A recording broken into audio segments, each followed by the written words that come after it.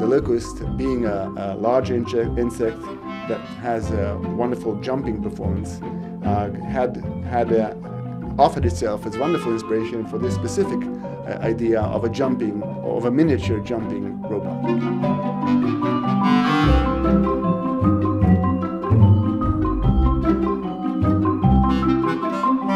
They're cheap.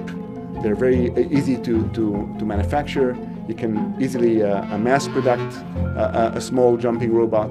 You can send out dozens, hundreds, even more of these tiny uh, tiny things, and and they'll will they, there will I mean they'll do whatever is needed uh, from them wherever wherever human can can can get can reach.